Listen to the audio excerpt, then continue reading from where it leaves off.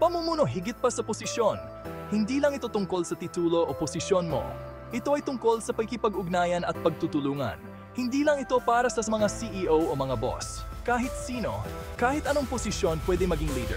Ang tunay na leader, marunong magbigay inspirasyon, mag-udyok at manghikayat para sa isang layunin. Nagtitiwala sila at may integridad, kaya naman nagkakaroon ng magandang samahan. Hindi ito tungkol sa pagiging dominante o makapangyarihan. Ito ay tungkol sa pagtulong sa iba na umunlad at magtagumpay bilang isang grupo. Ito ay pagiging mabuting ehemplo na nagbibigay inspirasyon sa iba na magpakita rin ng kanilang talento. Kapag tinignan natin ang pamumuno bilang isang proseso ng pakikipag-ugnayan, mas maraming leader ang mahahanap natin sa lahat ng antas ng organisasyon. Ang pamuno ay pakikipag-ugnayan at pagtutulungan. Hindi ito one-man show kung saan ang leader lang ang nasusunod. Ang mahusay na leader nakikinig sa kasamahan, pinapahalagahan ang kanilang opinyon at isinasama sila sa pagdedesisyon. Sa pagtutulungan, nagkakaroon ng pagbabahagi ng ideya, kaalaman at karanasan. Dito natututo at lumalago, hindi lang ang mga miyembro, pati na rin ang leader. Ang pagiging bukas sa iba't ibang ideya ay nakakapagpalawak ng pangunawa at nakakatulong sa paghahanap ng solusyon. Sa pagtutulungan, nabubuo ang tiwala at respeto sa pagitan ng leader at ng kanyang mga kasama. Nagkakaroon ng pagkakaisa at pakiramdam na akin ang mga layunin ng grupo.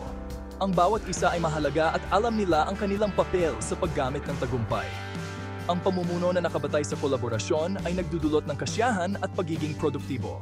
Nagbubunga ito ng mga makabagong solusyon at pinapalakas ang grupo sa pagharap sa mga hamon. Walang isang estilo ng pamumuno na epektibo sa lahat ng pagkakataon. Ang bawat leader ay may kanya-kanyang kalakasan at kahinaan ang pinaka-epektibong estilo ay depende sa sitwasyon at sa pangangailangan ng grupo. Narito ang ilang halimbawa ng iba't ibang estilo ng pamumuno. Coach.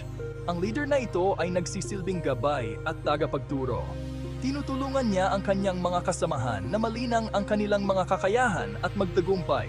Visionary. Ang leader na ito ay may malinaw na pananaw sa hinaharap at kaya niyang ibahagi ito sa kanyang mga kasamahan. Nagbibigay siya ng inspirasyon at direksyon sa grupo. Servant, ang leader na ito ay inuuna ang pangangailangan ng kanyang mga kasamahan. Sinusuportahan niya ang kanilang paglago at tagumpay. Autocratic, ang leader na ito ang nasusunod at siya lang ang nagdedesisyon. Epektibo ito kung kailangan ng mabilis na desisyon, pero pwede itong magdulot ng kawalan ng gana at inisyatiba sa mga miyembro. Mahalagang tandaan na ang mga estilo ng pamumuno ay hindi absolute ang isang mahusay na leader ay kayang mag-adjust depende sa sitwasyon. Seksyon 4. Mga bunga ng epektibong pamumuno. Ang epektibong pamumuno ay nagbubunga ng magagandang resulta para sa grupo at para sa buong organisasyon. Ilan sa mga mahahalagang kinalabasan ng epektibong pamumuno ay ang mga sumusunod. Direksyon.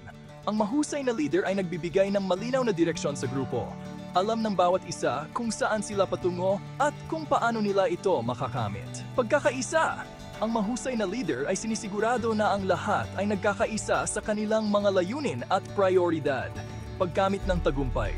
Ang mahusay na leader ay nagbibigay inspirasyon sa kanyang mga kasamahan na magtulungan upang makamit ang kanilang mga layunin. Bukod sa mga nabanggit, ang epektibong pamumuno ay nagre-resulta rin sa mas mataas na antas ng motibasyon, pakikipagtulungan, at kasiyahan sa trabaho. Nagbubunga rin ito ng mas maayos na komunikasyon, mas malakas na samahan sa organisasyon, at mas mataas na antas ng pagiging produktibo. Seksyon 5. Pamumuno versus pamamahala. Ang pagkakaiba. Bagamat magkaugnay, ang pamumuno at pamahala ay hindi magkatulad.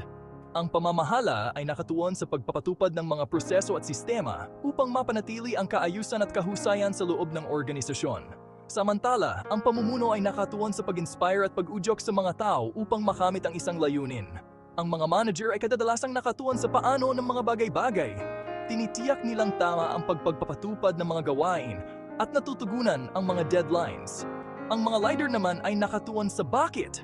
Binibigyan nila ng inspirasyon ang kanilang mga kasamahan na tumingin sa mas malawak na pananaw at magtrabaho tungo sa isang makabuluhang layunin. Ang epektibong organisasyon ay nangangailangan ng parehong mahusay na manager at mahusay na leader. Ang mga manager ang nagsisiguro na maayos ang takbo ng pang-araw-araw na operasyon, habang ang mga leader ang nagbibigay inspirasyon at direksyon sa mga tao. Seksyon 6 Mga katangian ng isang epektibong leader. Maraming katangian ang nagpapakita ng isang epektibong leader. Ilan sa mga ito ay ang mga sumusunod integridad. Ang epektibong leader ay tapat, maprinsipyo at mapagkakatiwalaan. Ginagawa niya ang tama kahit na walang nakatingin. Komunikasyon. Ang epektibong leader ay mahusay makipag-usap. Malinaw niyang naipapahayag ang kanyang mga ideya at inaasahan.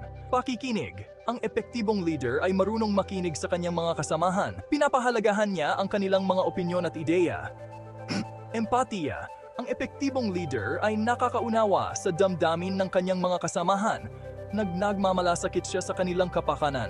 Kumpiyansa. Ang epektibong leader ay may tiwala sa kanyang sarili at sa kanyang mga kakayahan.